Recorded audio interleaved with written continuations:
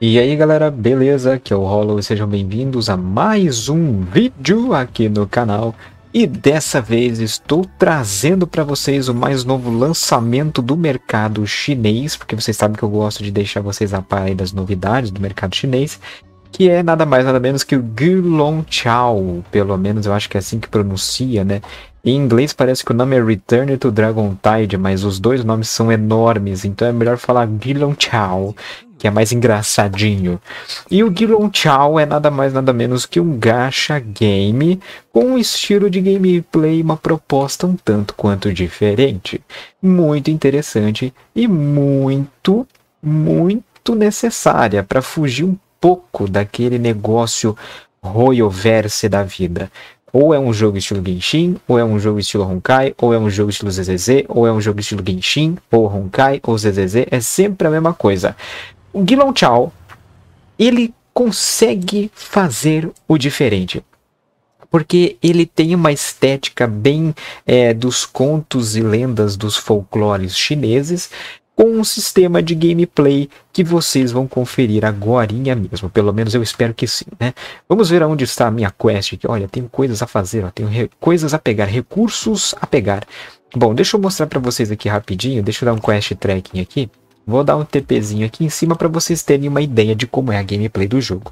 E eu digo para vocês que isso me surpreendeu bastante quando eu conheci o Gulong Chao lá na primeira versão que ele teve, o primeiro anúncio de beta. Eu achei isso muito legal. Uma coisa só que me desagrada até o momento nesse jogo é que os modelos de muitos personagens não condizem com a arte do boneco, né? Tem um boneco que tem uma arte muito foda e aí você vai olhar o modelo do boneco e ele é todo chola, né? Eu espero que isso no futuro seja melhorado, porque é, oh, oh, oh. eu espero que isso no futuro seja melhorado porque o jogo ele tem muito potencial. Ele tem cara daquele jogo que não tem muito investimento, mas ele tem um grande potencial justamente por fazer o diferente, o que é muito legal. Bom, como vocês puderam ver, o jogo ele já tem aquela visão 2.5D, o que já é muito legal, e a gameplay dele se assemelha a nada mais, nada menos que um jogo beaten up, é, hack slash, como você preferir chamar esse estilo de jogo aqui, que é nada mais, nada menos que eu chamo de action platformer. Se eu vejo um jogo assim de de 2D, 2.5D, para mim, ou ele é um action platformer, porque me assemelha muito mais a Grand Chase, ao Sword e Closers, né? Mas pode ser que eu esteja falando errado, obviamente, mas vocês sabem, né? Quem entende mais dessas categorias gamers sabe, né? Para mim é tudo action platformer. Se, se é 2.5D e tem plataforma para eu pisar em cima, é action platformer. Mas enfim, Enfim, deixa eu mostrar para vocês aqui certinho como é que é o jogo, e eu achei isso muito legal nele por ele se propor a ser diferente. Mas, lá na China, aparentemente, o jogo está passando por uns probleminhas, né? Primeiro, com a equipe de marketing do jogo, que acabou dando umas alfinetadas né, no grupo da Royalverse, o que é realmente um perigo de se fazer hoje em dia, e também pela péssima otimização no celular. O jogo ele não é pesado, mas ele também não é otimizado. Agora, se você estiver jogando no PC, o jogo é muito otimizado no PC, o que é um, um, um paralelo não muito, muito legal, né? Porque geralmente é para estar tá otimizado primeiro no celular, né? Mas enfim, vai entender o que, que a empresa quis fazer, né? Bom, eu vou fazer um pouco da gameplay básica do jogo aqui para vocês, tá? Eu não vou fazer quest nem nada aqui e tal.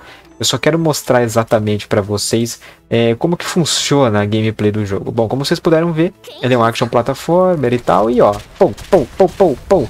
E aí você desce a porrada nos inimigos. Muito simples assim. É você, o jogo se resume a você ir descer a porrada nos inimigos, porque isso sim é divertido, isso sim é curioso, isso sim é legal. Eu tenho uma coisa para fazer aqui, mas eu não sei exatamente. Eu acho que é algum secret.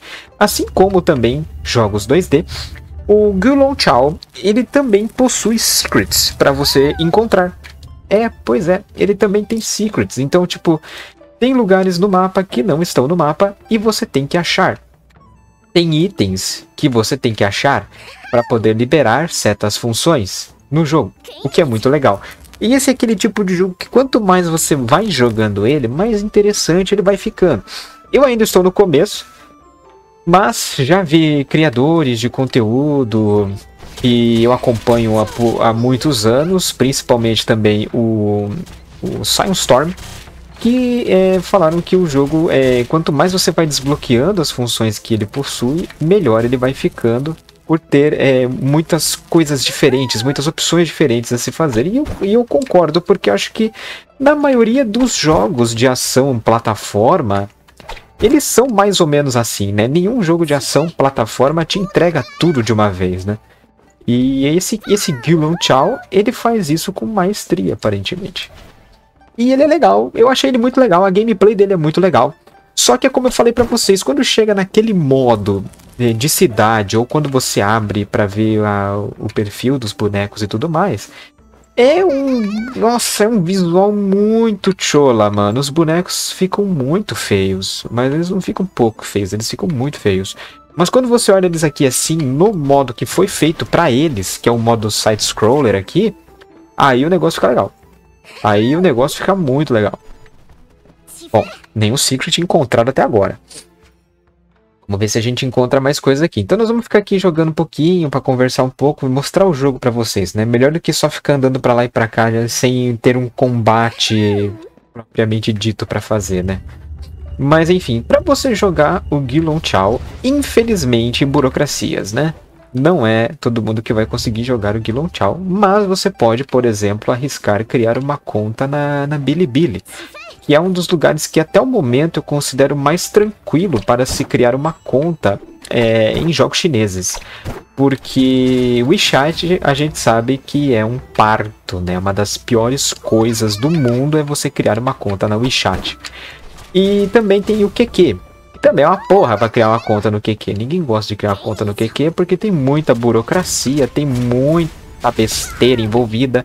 Então, o Bilibili, para mim, é um dos lugares assim que mais me ajuda a testar esses jogos chineses porque é mais fácil de criar conta, né? Na época que eu criei a minha conta no Bilibili, por exemplo, eles estavam aceitando números estrangeiros de celular, como por exemplo, o número brasileiro, né? Então eu consegui criar conta com o meu número de telefone mesmo o que é muito legal. Então, essa é uma das poucas formas que você tem para poder é, testar o Gilon Chao, né? Uma outra coisa é que provavelmente ele vai pedir identificação chinesa, nome chinês, essas coisas, então não é muito difícil de você achar um arquivo de documento Google com vários com vários nomes e IDs chineses por aí, né? Não é muito difícil de você encontrar, porque é ser boa também, até. essa boneca, mano, essa boneca é a limitada do banner, velho. Ela é muito louca, mano. Eu adorei ela, velho. Tive que summonar nela, mas agora eu também não vou summonar em mais ninguém. Eu vou esperar. Olha lá, tem gente que estendeu a roupa ali, ó, tá vendo? A mecânica do jogo, eu acho que eu não sei se eu falei, mas eu acho que eu esqueci de falar, é que é o seguinte: você tem o botão de ataque, né? Tem o botão de ataque. Tem boneco que tem charge, então, por exemplo, se, se eu apertar o botão de ataque e segurar, tem boneco que faz animações diferentes, ó. Pum, pum, pum, pum, pum, pum, pum. Tá vendo? Ele faz animações diferentes. O dela é jogar o guarda-chuva pra frente. Tem boneco que não faz nada, ó. Esse aqui eu aperto e seguro, não faz nada. Essa aqui eu aperto e seguro, não faz nada. Então tem boneco que não tem charge. Todos os bonecos têm esquiva, ok? Todos os bonecos têm um, um botão de esquiva. A esquiva serve tanto para você fazer aquelas esquivas perfeitas dos bosses, como também alguns tipos de parry. Então, quando o boss brilhar amarelo ou dourado, por exemplo, você aperta o botão de esquiva para cima do boss e ele faz o parry. Tem um botão de habilidade, cada boneco tem uma habilidade diferente, e tem um botão de suprema. E aí, a partir daí, você bola sua gameplay. Agora, algumas outras mecânicas do jogo, como por exemplo, equipamentos e essas coisas, aí entra naquele negócio meio Royoverse, né? Porque, querendo ou não, ela estabeleceu um padrão no mercado e todo mundo quer ter esse padrão também. Então, a Royoverse estabeleceu os sistemas de artefato, de equipamento exclusivo e coisa e tal, e coisa e tal. O que é chato? É chato pra caramba. Mas é o que é, né? Não temos como fugir da situação, da situation, né? Só temos que aceitar. Então aqui também se repete, né? Tem empresas que mudam os sistemas, né, para não ficar assim tão pesado, mas tem empresas também que simplesmente só pegam a mesma fórmula e é isso aí, tchau, né? E Guilão, tchau. Mas, enfim, é, ainda não cheguei a explorar tanto assim esses sistemas de. de. como é que eu posso dizer? De é, equipamentos e artefatos. Porque eu ainda tô no começo do jogo, tô só brincando e explorando. Mas quando chegar a hora, a gente vai dar uma analisada e ver o que, que acontece aqui com o sistema de equipamento do jogo. E tem muita coisa para ver, porque tem um sistema de disco de vinil, como se fosse, eu acho que os discos do Zenlezone, como também tem um sistema... Ó, oh, fiz um esquema perfeito ali sem querer. Como também tem os sisteminhas de equipamento normal mesmo, né? Que é roupa, cota e essas coisas assim. Então, essas coisas também estão presentes lá. Os bosses eles têm barras de vida com break, né? Então você pode quebrar os bosses. E aí quando você quebra, você tem esse negócio de troca rápida, no qual você pode fazer vários combos sequenciais, né? E quando o boss quebra também, ele obviamente toma bem mais dano, né? O que é melhor. Ó, quebrou aqui, vamos lá, pum, trocamos aqui, pum, trocamos aqui também, pum. E pronto, tá vendo só? Tranquilo, né? Não é muito difícil entender como funciona a gameplay do Gilon Chao, né? Então é um jogo bem tranquilo. Eu espero muito que esse jogo faça sucesso. Faça mesmo, eu espero muito que ele faça sucesso porque eu acho que ele merece. Pois ele se trata de um jogo muito divertido, cara. Eu tô achando ele extremamente divertido. Eu acho curioso também que um jogo desses não tenha sido tão falado ultimamente, né? Eu não sei se se existe algum motivo por trás disso, nem nada ainda. Mas eu quero tentar entender melhor o que se passa aqui. Será que ele vem global, Hollow? Ele vem global? Bom, aí você está fazendo uma pergunta muito interessante. Ele tem cara de jogo que vem global, mas ele tem cara daquele jogo que quando vem global vem uma porcaria. Então é meio, meio arriscado alguma empresa tentar trazer ele globalmente sem transformá-lo em porcarias, né? Mas assim, se fosse para arriscar uma empresa global trazendo esse jogo, eu apostaria na própria Bilibili Games, assim como eles estão trazendo o Jujutsu Kaisen, que não é deles, por incrível que pareça.